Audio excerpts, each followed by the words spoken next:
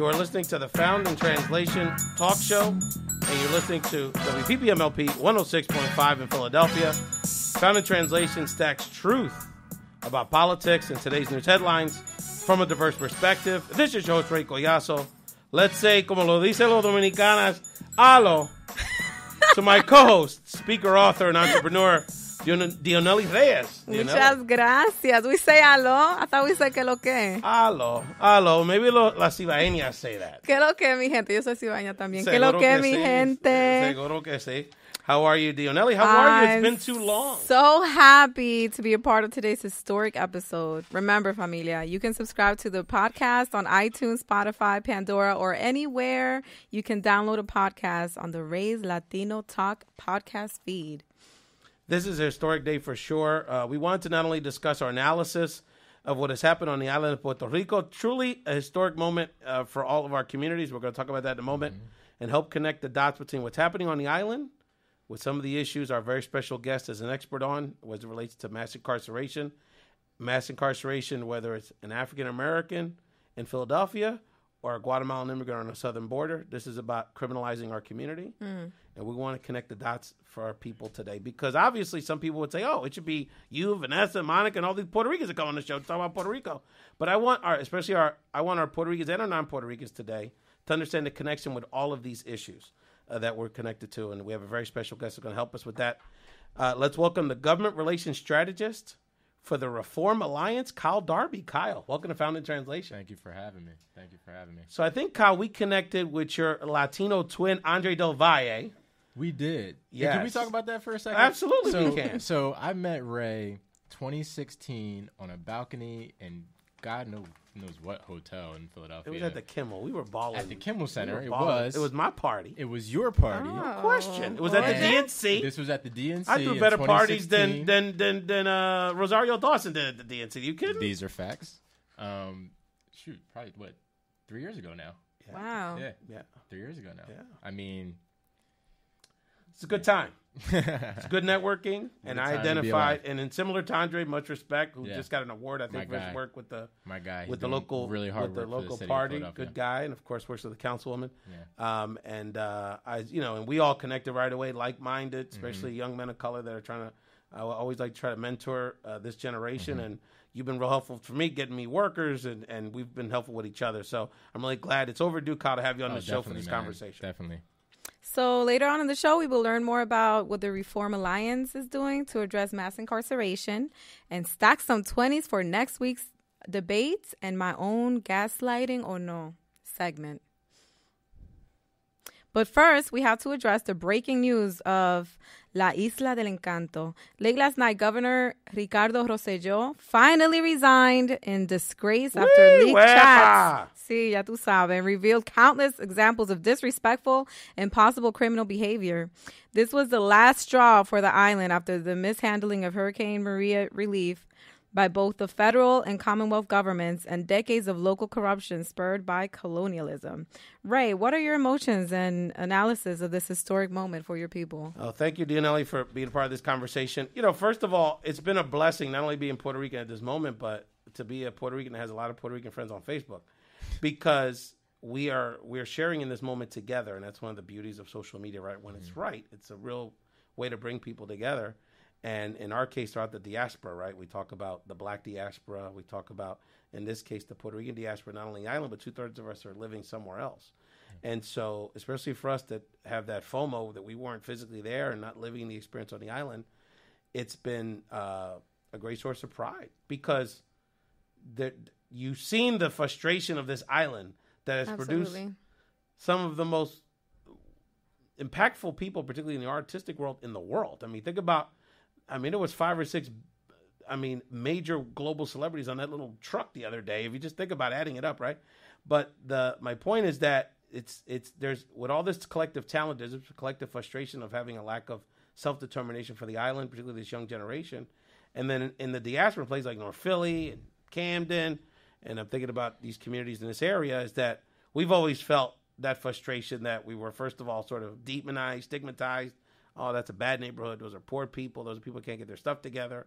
Then we internalize it, and then for us to see that we created this movement that in two weeks without one, not even, not even, not only one death, not even one major injury. I mean, there could have been an accident anywhere with all this, mm-hmm. all these people just bouncing around. Right. Yep. A bloodless revolution. So a great source of pride, and it really is a, it's a confirmation, an affirmation. Because look, and Kyle, you know this. There's a lot of times when doing this work can be really lonely because you feel like you're the optimist, and everyone's like, "Been there, done that. Ain't gonna happen." They're Another busy with other things. another young person that worth thinks they're going to change the world. Ha ha ha.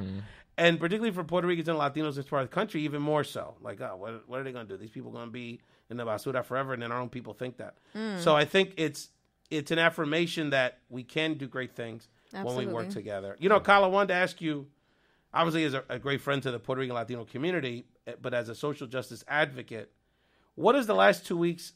I know you were observing what's going on on the island closely. Yeah. What has it taught you? What lessons do you think you've learned about the movement you're involved in? I mean, there is a ton going on right now, just in the stratosphere of, of politics and, in the world, and you know, not just here in the U.S. and, and on the island, but globally. Um, you know, shout out to Meek, he just got off. Yeah. He has a new trial.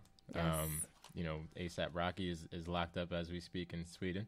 Um, you know, obviously the last couple weeks in PR has been amazing in so many different levels. And you mentioned bloodless revolu- revolution. I mean, that doesn't happen anymore.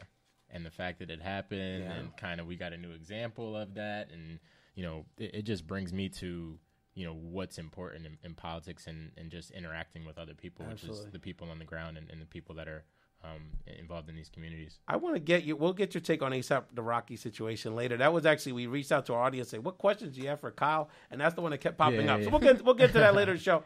But I, I would say, and I'd like to get you and Dionely's thoughts about this because one of the things my I did sort of an impromptu podcast earlier in the week when things were getting hot, uh, just on my own, and one of the things that I commented on and I've been reflecting on a lot is that I think what Puerto Rico should teach all of us here that are doing work in the United States, particularly sort of in this during this era um, that we're going through, is that you have to match the leadership and the act and the action with the with the moment at hand. And so I think one of the things that we're all many of us are frustrated by, just thinking about it in this political context, and you know we'll talk about Mueller later and this impeachment. It's like that the Democrats and a lot of people sort of in the political class are treating this time like as if it's like a normal political time, and it's not. So th- this is It's listen. not. if if everything that has happened in the last you know six months let alone the last two years isn't indicative of a change in in the way american life is handled then we're just sleep i mean you know this is this is this is a time of mobilization this is a time of inter you know connectivity in terms of social media um you know th- the whole gambit of the way we communicate as human beings is just on a different level now So let me ask you a call quick- to actions that much Let me ask you a question, Kyle, because obviously it's not like we're not doing anything, right? I mean, Right. there's been a lot of flare ups, right? So, like the Muslim ban, there was a lot of activity Mm-hmm. around the airports. We've had, I mean, even before Trump, we've had the Black Lives Matter movement has, has brought criminal justice to a whole other level of understanding in this country. We have President presidents talking about it. We'll talk about that a little bit too. Um, so we're, it's not that we're not being mobilized. I mean, the Democrats flipped the House in 18, so we did some electoral successes but it just don't feel like enough. And and I think a lot of us, and I want to get your thoughts on this too, Danielle, because I know you're very passionate about these issues. Is that mm-hmm. I think a lot of us are thinking, how come it's not enough? And why don't we get more people doing this? And I've seen on social media my my immigrant Latino friends talking about, man, how come we're not doing more like what the Puerto Ricans are doing, or they're not doing that in Venezuela, or we're not doing that in the black community here? Like, why aren't we standing up more? So why don't we start with you, Dionely? Give, uh, to think about so Dionely, what are you feeling that though? Do you think people are feeling that way? And then how do we then how, how do we respond to take these actions that we need to do to protect ourselves to another level? Because we're literally under attack right now. Yes. So, how long uh, were Puerto Ricans and um, other people protesting the whole Rosselló situation About about two about weeks. Yes. So the reason I believe that it was effective is because they had a goal. They're like, we want you to resign. This is what we want you to do.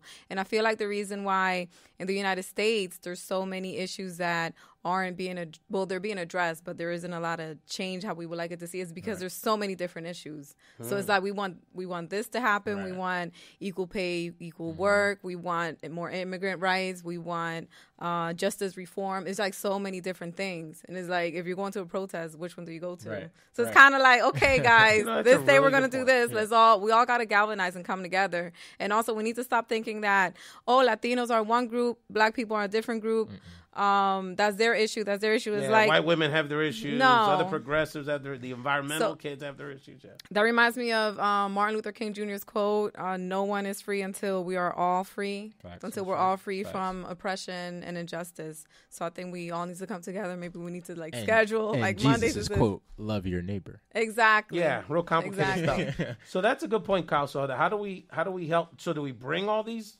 issues together to try to identify one or two specific things we can work on? Do we just support each other's movements think- to identify something more tangible? Is it? Good, Dionely's brought up a really good yeah, point. she here. she brought up the most important point in our political climate right now is that everything's in a funnel. There's you know a Well, myriad of chaos strategy. Yeah, It's I like mean, if there's- I break everything, it's harder to deal with right. one thing. Mm-hmm. There's I mean there's a myriad of issues that are going on right now, and you just named a few. Mm-hmm. And the issue with all of them, I mean, we all eat the same, we all go to sleep the same, we all need to have jobs. bleed red hmm it's it's simplistic stuff. We're all human beings, and, and a lot of these issues, whether it's criminal justice, whether it's it's you know any sort of reform, a lot of these issues not they're not being handled in a in a humanistic perspective. It's being handled in kind of a you know like I said, it's a funnel. You got you got folks that are galvanizing for these different issues, but not coming together as a as a community and saying you know we have more alike than you know than we do in difference. And I feel like a, a lot of times we focus too much on the problem. Like it's good to recognize it, but then it's like, okay, let's focus on a solution now. Let's come together for a solution. Yeah. This is what needs to get done. I, I always say done. that to uh, some of my some of my political friends, and you know, a lot of the panel discussions that you know folks have in these events, where you know these these experts on stage, and there's an issue posed, and we talk about the problem for two hours, and then the last ten minutes of the event, we'll talk about possible solutions. You know, it needs to be flipped. You, Yep. you you brought up a good point, Kyle, because I think another another lesson that's come out of this revolution in Puerto Rico is that you know the the issue on some level is pretty fundamental. It's like we need government working for us. Right. We mm-hmm. need ethics and we need respect mm-hmm. because you know one could argue. Well, you know, okay, he said some. They said some rude things in a private chat, but it's like, is that to was it for all that? And obviously, that's, it's more than that. But my point is that I think it re- really triggered people because it was about like people's simple self respect, and then but then they reacted to it authentically. Yes. Whereas here, we're all trying to strategize how to like convince you know several uh, tens of thousands of, of moderate white people how to vote a certain way, and we're so scared about well how are other people going to react, and, and we just don't have we're not we're not we're not feeling enough confidence to just live our truth. Because the reality is if we're really for real for real about this we'd all be surrounding one of these camps in texas every day until it got done. And why are we doing that? And i'm including myself. There's power in numbers. There's always been power in numbers. Uh, the Million Man March, for example, how much how much of that galvanized support for the civil rights movement. That's right. Um, I mean, I can name a ton of, of different. i mean the muslim ban we ended in a weekend in a because week. of how we dealt with the airport Because yeah, I mean there was what millions of people at You were the fo- airport. they were focused on that. that's right Yeah, I mean, listen, we're we're in such an interesting time, and, and you mentioned the governor. I mean, you know, malfeasance in any any which way is just completely inappropriate. And, and by malfeasance, for some of the viewers, um, it's just complete disregard for ethics and morality and and those sorts of things in a public space. And what the governor did with that chat with with some prominent members of of his administration, Basically, yeah his, his I mean, cabinet essentially it, it all the all the non-females and all the guys I mean, it, it's not a small thing It's yeah. something that it's an American fabric, though. It's not just on the island. It's right. not just in the Oval Office. It, it's reverberating across the country, and the reason being is because we're allowing it. We're allowing it, and right. there's not a chat for every you know public official that does those sorts of things. But there's you know uh, there's examples for folks that you know are involved in the Me Too movement that might be an elected official or have said something publicly, like our president has said multiple times, that's just completely inappropriate. And we need to set a standard. I mean, we, we need to not allow folks to just say whatever they want in positions of power because it, it has a, a substantial negative impact on our communities. And you got kids. I mean, the youth are the most important part of our community, and and I'm just concerned with what they think about this, and and how they're going to uh, describe this in ten years. What we're what we're going through right now. Well, and, and people don't realize, you know, there's kids going to elementary school. You know, it permeates the society. Leadership matters, right? So, like, you know, I mean, and you hear this, Dionely, you hear reports, but we know every day. Think about all the Latino kids, and especially in these Mm-hmm. mixed areas around the country that are getting teased, getting bullied. You never hear about them in the news, and this is impacting e- whether the, whatever their citizenship status is. Yeah. And this is impacting the way they're growing up their whole life. And then I think about on the flip side, these Trump rallies, mm-hmm. and you'll see like the random little white kid, like eight years old with a MAGA hat, yelling and screaming and looking around. It's like, what are they teaching? Right? these Can we kids? can we They're call it? teaching can- hate. Um, absolutely. And like, Yeah, can that's we what it is. can we just call it that? But let's get a little bit deeper though. It- Yes. it's lack of education. Yes. Yeah. It's complete lack, lack of education. Yeah. It's lack of education. because about- on some level they're the one they're getting played almost as much as we are. The Yeah. difference is we're we're under threat. when when you're not learned in a way where you're understanding the history of every person that you're interacting with, um, what what happens is you hear things like "go back to where you came from," and it sounds good. So You're like, yeah, I want to be, I want to, I want to be the only person in this space. Yeah. It, it, everything that we're going through right now, in my opinion, is is very simplistic. It's it's not that difficult to understand, and, and it's it's severe lack of education, and we need to get back to that. as Ignorance country. is the enemy. yeah. That's Mhm. right. The the last thing before we get into the next segment, we're going to take a deeper dive, and we're here with Kyle Darby from the Reform Alliance, and uh, my uh, very special guest host this week, Dionely. Today has been too long, Dionely. It's great to have you back. But the um, on Found in Translation, but I think I'd like to hear a few words about where we go from here. Dionely, you're the one that said it really well. Like the Puerto Rican community had a goal; it was very specific. We were to mobilize around it. There was a clear target, and it got accomplished. But now, what do we do? And so, um, thinking about other movements and things that we've seen where that's then it's like, okay, we won this victory. How do we build on the momentum? So, what would be what's your thoughts, to, Like, keep doing what they're doing. Like now, it kind of gets harder, right? Because we have there's a political reality. Next year's the elections, and how does the party structure in Puerto Rico? And then some people don't want the next person to be the governor. So, um, that's going to be the hard part. I think is kind of figuring out what's how do we organize on the next step. I think using social media will be really helpful. And I think just seeing how powerful we really are when we come together and the Puerto Rican protesting and hashtag eh, Ricky renuncia, like that really, really worked. It brought people together and it happened. So y- seeing things like that and understanding, like, look, it really can happen when we come together. And I think keeping it inclusive. I mean, the fact that I mean, eventually there's going to be some political dynamics that come into play on the island, but mm-hmm. the fact that it was intergenerational, Yeah. Mm-hmm. Mm-hmm. and you know, it's another lesson I think, particularly for Latinos and African Americans in, in this country, because oftentimes, and I work with Latino leaders all over the place, and and they always, they always, so many, too many of our leaders and community people think that the problem with the Latino piece is that there isn't like this charismatic leader. There's no Latino Obama. There's no Latino MLK. There's no Latino Jesse. J- I mean, there they always say that. are, No, but, but- people There's got to only stand one behind Obama. them. But but Oh. the, that's right. Sure. but but Let to that that point, clear. but to that point, this was a faceless movement. listen ca- when when when there's when there's people frustrated about a particular thing in order for it to be successful there needs to be a call to action and a lot of our movements are rah rah shouting this is wrong. This is wrong. yeah and unfortunately what happens is you don't have any call to action nothing gets done Yep. it's a lot of chatting and talking but no action And that that not only takes uh, emotion, but it also takes strategy Yeah. and, and a campaign plan. So uh, get us to the outro, Dionely, and we'll come back momentarily. Okay, when we come back from break, we're going to learn more about Kyle Darby and the Reform Alliance movement. You're listening to the Found in Translation talk show.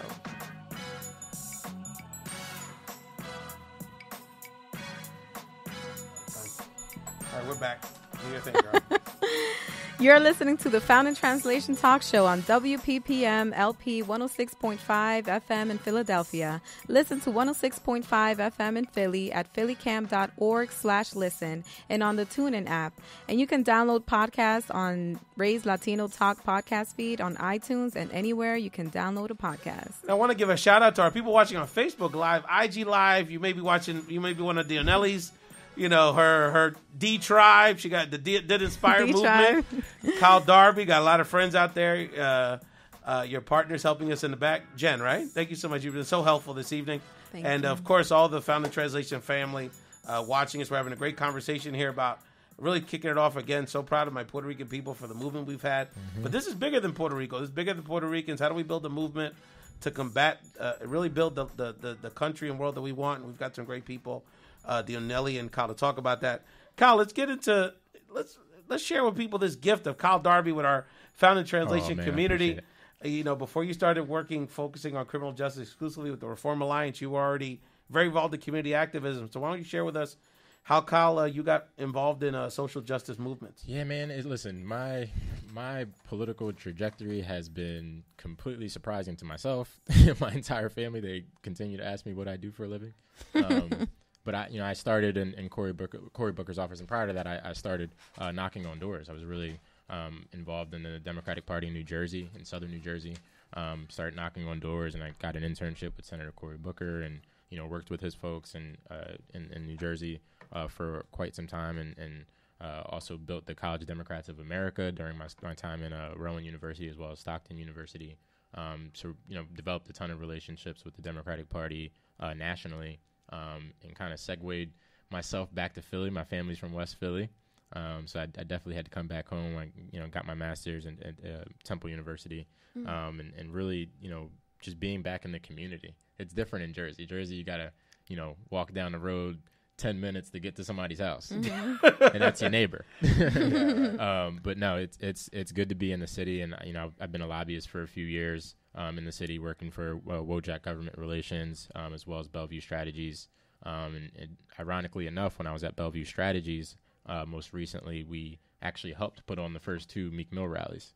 Uh, when he first violated his uh, his probation and was sent back um, we did the, the first two rallies for him in tandem with a few other organizations. So um, you know, I got looped into the the Meek apparatus and the Roc. Nation apparatus through that, and um, you know, really, it's just it's been a blessing, man. It's it's you know to be in a in a space where you can be very concerted and very deliberate about how you change you know people's lives and, and be very um, serious about changing people's lives and, and helping you know our neighbors and our and our folks um, that w- that we care about that we say we care about. Um, you know it's just a blessing for me.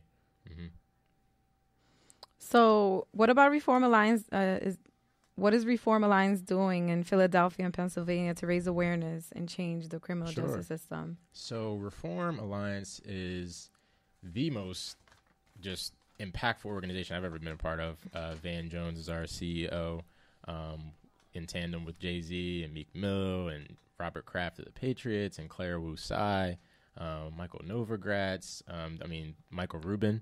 Um, I know that those names are now. And there's some people on Facebook like, oh, he works with them. Yeah. Okay, yes. Van, Yeah, Van that likes, Light bulbs. reform. That Light re- bulbs Cats, coming on. Cats, yes. Roc Yeah. Nation. Van Reform. likes to call them the Meeks, Avengers. Meeks political guy right here. Avengers. yeah, no. So I, you know, this this organization is incredible. It's it's a uh, criminal justice reform organization, uh, really focused on probation and parole at this at this particular juncture, and um, in in uh, Pennsylvania in particular, Pennsylvania, most folks don't know, um, is one of the worst states in terms of incarceration. You know, I learned that from you, Kyle, because I didn't realize. I mean, I knew criminal justice reform, mass incarceration, and one of the things that I wanted to highlight in this episode was that it's obviously the issue is is, is so historically acute with the black community and black Yeah. males particularly, but it is a major issue in the Latino community, and I didn't realize that it was even disproportionately effed up in Pennsylvania. Can you explain that? Because I didn't even realize.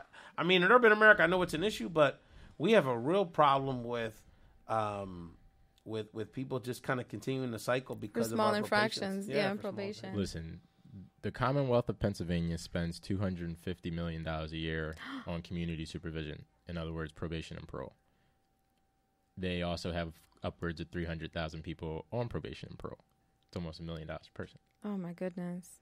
and the conditions that folks are on are completely just erroneous and, and just doesn't make sense. I mean, the fact that Meek popped a willie in New York, you know, and, and got violated. They arre- they arrested him the next day. I mean, it, it's just insane. If you if you go to a meeting with your probation or parole officer late, if you associate with somebody with a criminal activity, you know, that has criminal past and has done criminal activity, um, I mean, and then how on. could you not if you're living North Philly and like where there's and then a you got to check rate? in, you know, every so often. What happens if you have a job? Do you go to do you go to your job or do Mhm. you, you go to your probation or parole officer?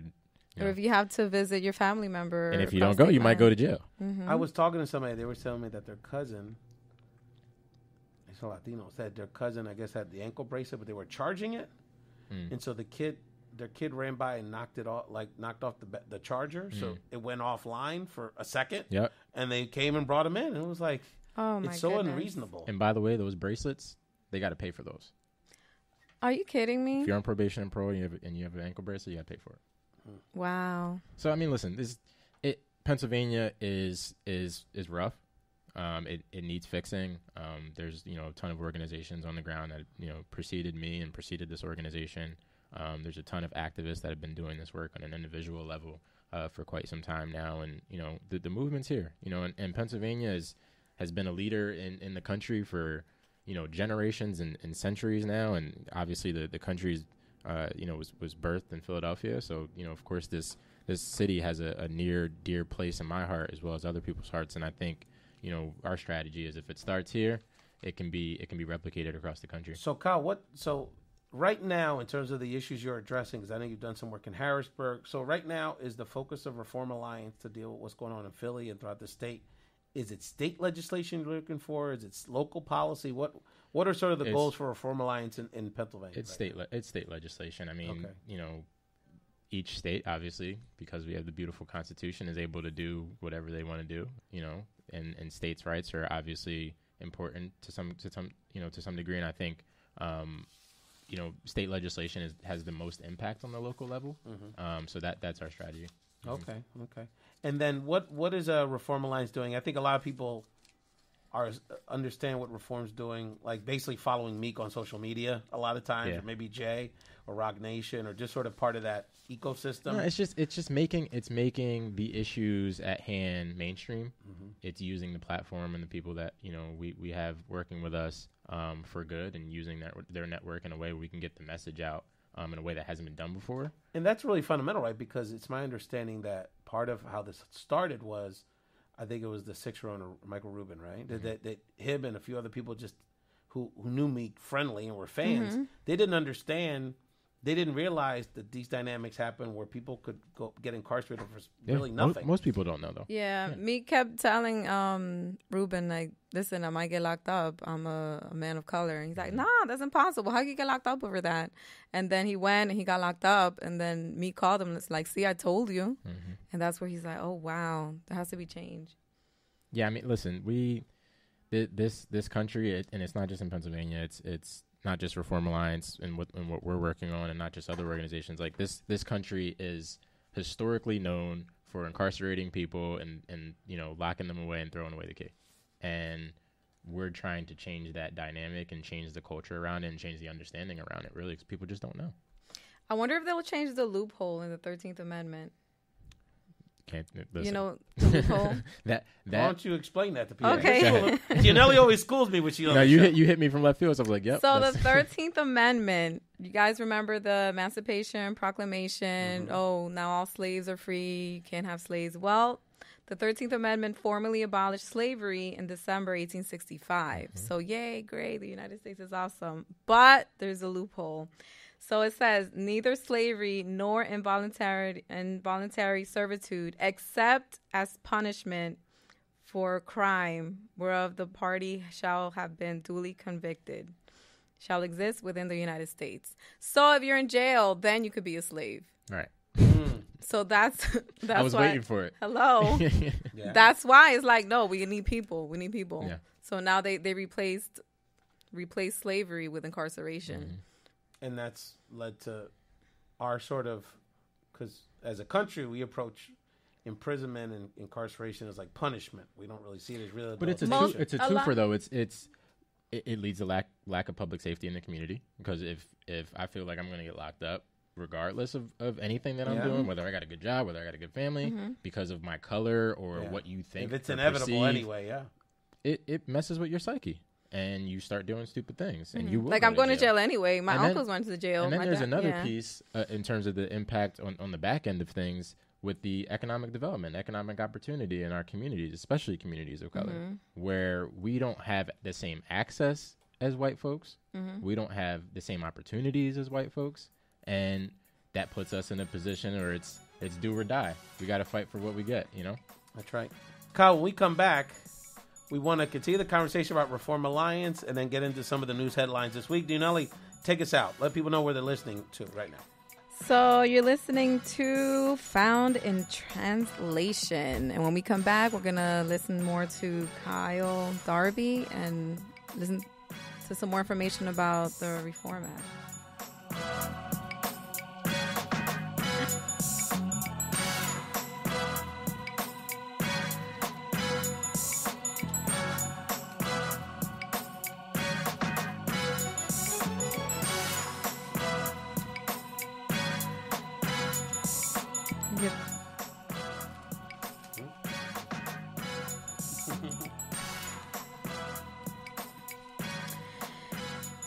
You're listening to Found in Translation Talk Show on WPPM LP 106.5 in Philadelphia. We are celebrating this historic moment for Puerto Rico and talking with Kyle Darby of Reform Alliance about how we used lessons of Puerto Rico to organize for criminal justice reform. Kyle, how should people get involved in criminal justice reform issues and engage reform? Get educated about it. Realize What's that website? Give us give us those hashtags, man. Give us the handles. We got to look. reformalliance.com, uh, reformalliance.com slash Pennsylvania. Uh, my handle is at King Darb, at King, K I N G underscore D A R B. Um, and, and follow Reform Alliance on all social media at Reform. on our Stacking 20 segment on the presidential elections. What we do every every week here, Kyle, we talk about the presidential elections and we stack 20s for our local ch- uh, nonprofit organization, the Love Shouldn't Hurt campaign, which is a movement to support particularly our Latina domestic vi- uh, violence survivors, Christina Vega's organization. I want to remind people we have the debates next week. They're going to be in Detroit. So that should be an interesting setting. Kyle, several candidates have made proposals around criminal justice. And, you know, we, you know, you're here to represent reform, so we're not going to pin you on any particular candidates or anything. But as an organization and as Kyle Darby, what do you want to hear as it relates to criminal justice issues? What do you want to hear the candidates talking about? Tell them the truth about what they know. They they know they know how this country treats folks. They know how you know how this country has incarcerated folks at an astronomical level more than any other country in the world per capita. Um, just tell the truth about the issues and be very candid and honest about what they're going to do about it. One one thing that I, I really enjoyed because the incarceration piece is, is definitely tied to the policing aspect of things. Um, and, and Pete Buttigieg said something really interesting on the stage the last go around. You know, they asked him, well, why didn't you fire the, the police officers that were engaged in this misconduct? And he said, well, because I couldn't get it done. And he was very honest about it. He was very forthright about that. And we need more of that from our leaders. And that's we're not getting that right now. There's not any account, you know, there's no there's no accountability. There needs to be account- accountability amongst our, our leaders, and we need to feel like they're human because we make mistakes. But when we feel like our leaders, you know, just this perfect human being and and can't make mistakes, and when they make mistakes, they're not owning up to it, then you know we have an issue. And I, I feel like you know Mayor Pete did that really well on the stage. Um, and one of the things I really enjoyed was was uh, Senator Senator Harris, um, you know, going after going after Biden for something that was very serious. I mean, you know, these these issues, especially the criminal justice issues, have a lot of underlying um, underlying you know information and, and kind of knowledge embedded into them. Um, and the civil rights movement is, is honestly the perfect example of, of the undertones of the criminal justice system. And she highlighted that um, as well as anybody on the stage. Yeah, no, and, and it's interesting because it, you bring up sort of honesty, right? Because the honest truth of it is that, and you know, I mean, the the the, the federal government and the DOJ uh, doing things like having, you know, like holding police departments in big cities and Ferguson and Baltimore accountable. But the federal government piece is only a piece of the puzzle. And we know people like, we talk about this on the show, a lot of people like Shaun King and other activists who have gotten involved um, in Philadelphia, sort of a, a touch point to it, right? Around how do we get more progressive um, district attorneys in our, in our urban areas so that we can have, um, you know, so we can have uh, a different approach to policing. How do we uh, develop a different culture in our police forces, and that's really a police force by police force. There's there's sensitivity training culture to that. There's hiring practices. We just saw in Philadelphia that I mean a disturbing amount of I mean several about 13 cops got fired, but Yep. there was dozens, if not 100s that had some really disturbing Facebook posts. So this stuff they're they're willing to reveal publicly. We've got a serious culture that we have to address. It's just it's it's sad because it's a simple fix. There, of course, there's a lot of racism. There's a lot You of hate. it's simple though, Kyle. I mean, No, because there's a lot of levels. I mean, it, there's a know? lot of levels, but to me, I'm a lover. So like Mm-hmm. I, you know, in terms of my passion for other human beings, I don't care if you're white, green, yellow, purple. You must have worked for Booker. He was a love No, guy. He's a I big mean, love no, guy. I'm, I'm serious. Much respect, Cory. and like and like the, the and especially the policing piece you know with those those cops being fired you know the problem is they're not coming you know police officer or not you know when you're not from a particular community you feel uncomfortable in it. Yeah, right? And we need more folks going into communities that they're not from and feeling uncomfortable and getting immersed in something different. Mm-hmm. and the the issue with you know racist police officers and, and folks that are engaged in that type of activities, they don't know the communities that they're policing. They don't know you know who these families are that have been there for generations. Yeah. They don't know what the kids are like and what what they go through on a daily basis living in a, a, a volatile environment. Um, and just understanding those things makes a, a hell of a difference. Um, and, and just really understanding who you're who you're there to protect and an emphasis on the word protect.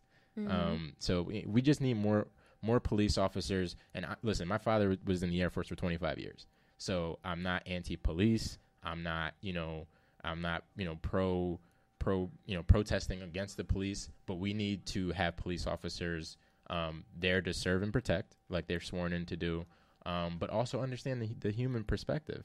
Um, and and a lot of the human perspective in the minority community is often misconstrued.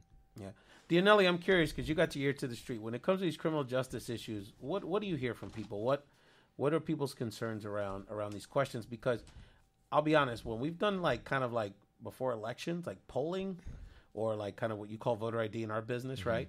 Um, and I'll say this specifically about North Philly. I can't speak about Camden specifically, but North Philly, like in the Latino areas, like the police, the mistrust of police isn't their biggest issue. It's an issue with certain you know sectors, but um, but I'm curious, Dionely, like what what do you hear on the street as it relates to these issues that um, we should keep in mind? I think, especially me being Dominican, the main issue is like police arresting you so you could get deported.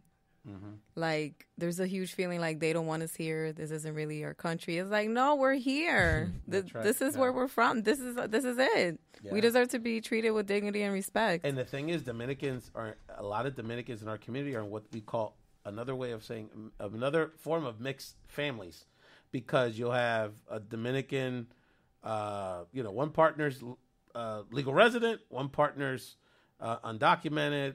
Their the other kids are one's a American citizen. citi- they're the other one has American a visa. The other one has a, a working visa. One has a student visa. One has a uh, tourist visa. And it's like I don't know. It's Which ran out in 2012, but anyway. and it's so it's so tough even that like the whole immigration system like i remember when i was in the dominican republic and my mom i didn't understand for the longest time why did my mom leave me when i was a little girl like i needed my mom and she had to come here and then go through the whole immigration process to bring us over here but it took years. So even that is like it affects you. It affects the family. It and sure it's also does. like imagine like i could only imagine having your father go to jail or your mother go to jail and just being without them for all those years. Like it does it really affects and is detrimental to the the fa- the family and the fabric. I got a I got a good friend who um he's the youngest of I don't know six or seven. He's a Cibaeño too, Dominican guy, and he's the same thing. His family came here first, and he's the only he was the he was the baby, and he's the only one that was born in the states. Mm. And so there's all there's an interesting dynamic that he shared with me over the years, because I don't want to say his siblings are jealous, but because of the dynamic, a you're the only one that had the papers, so it was kind of easier for you to, you know, get your education in the states and all that. But also like, basically like there was we were sep- we were you were the only one that wasn't separated from your parents Yeah. at any point, mm-hmm. where the rest of us had to kind of you know there was one parent or so.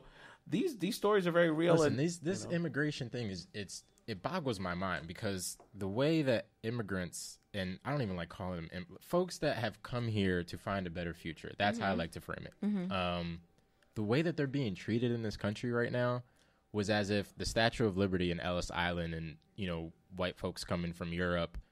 You know to to America, even We've you know, gone back like the Mayflower years. landing Like, on I the mean- eastern coast of, of what was you know then just a piece of land now Yeah. America just Yeah. never happened. i think It's crazy to me. I think they're afraid we're gonna do to this country what they did to this country, it's true. It's true. Yeah, and it's like, Snaps. no, we're here to work. We're not trying to take. You know what I mean? We're trying to work and grow trying together. to live. No, you're Let right. Yeah, live. no, it's um, but I think it goes back to the mass incarceration because we there, there's people in our society even before this sort of rash of anti-immigrant stuff.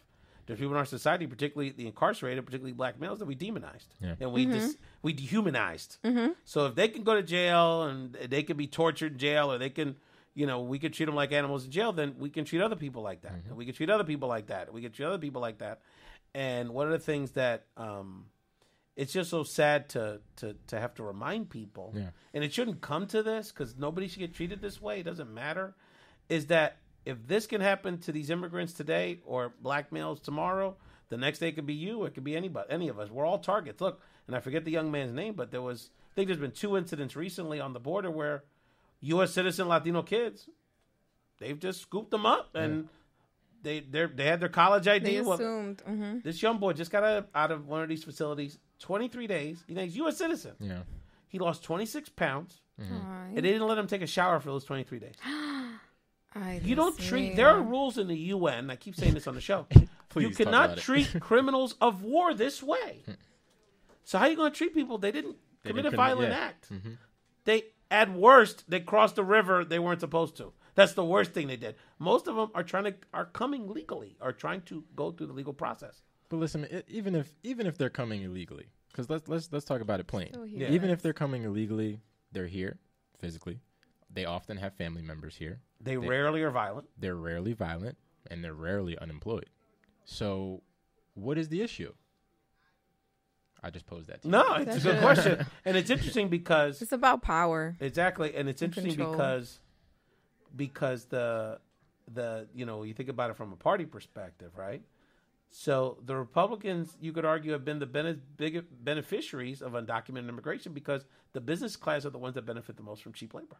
Mm-hmm. So you know, while their base fights over this, the elites of their own party, like the current president, the people of Mar-a-Lago, the people that own the big agricultural sectors, the people that you know all these, you know, every. I mean, look, you're not you're not, you're not eating a dinner at a high class place. It ain't done by an immigrant. You know, like I mean, it's not happening. So like we're all benefiting from it. All of us, on some level, are benefiting from it.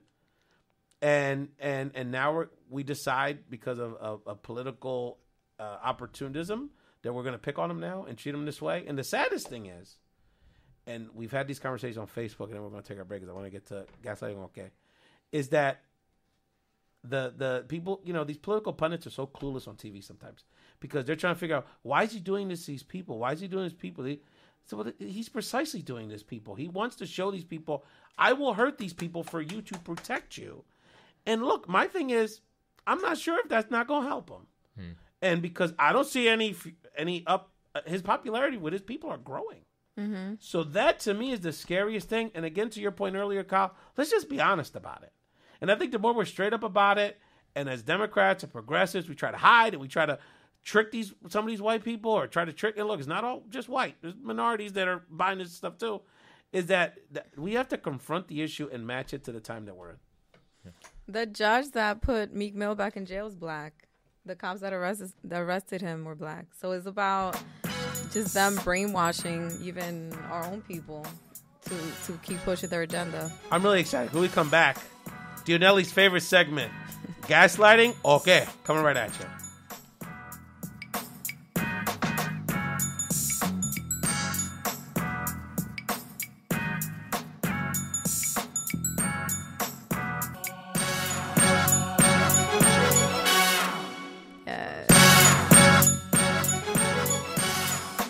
So you're listening to WPPM LP 106.5 FM in Philadelphia. Hashtag People Powered Media.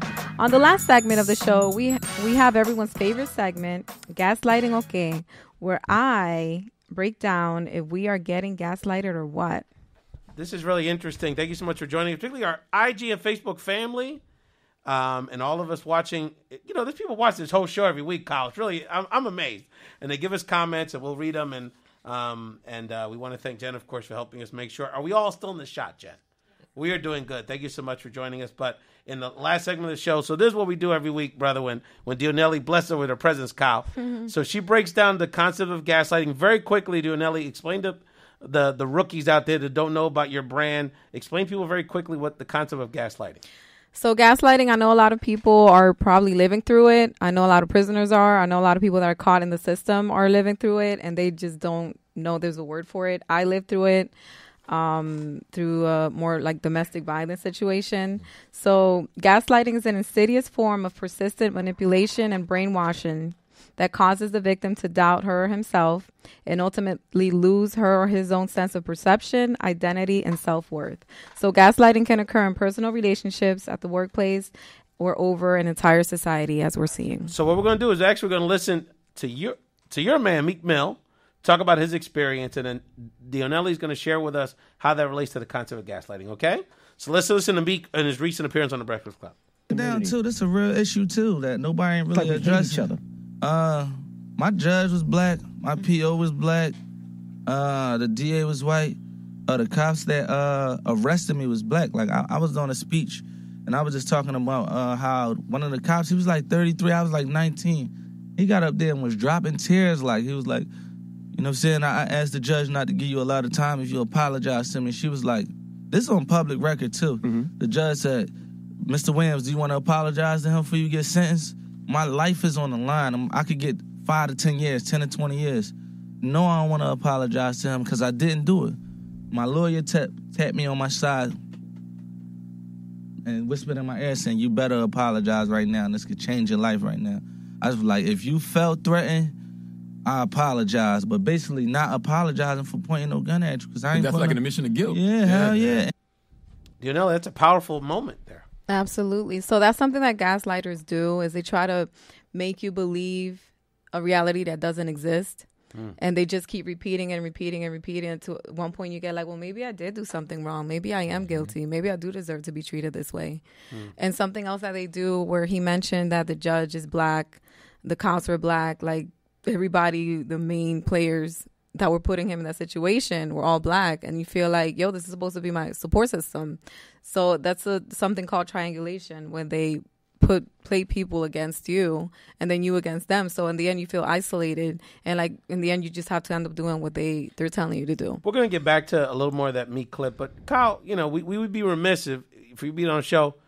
Uh, you know, tell us a little bit about the Meek that you know. I mean, really quickly, because obviously you're in a unique position to sort of work with him on this movement building, and uh, obviously he's such an icon here in Philadelphia and, and around the hip hop world. But just uh, any something that you think we should know about your experience working with Meek in this project.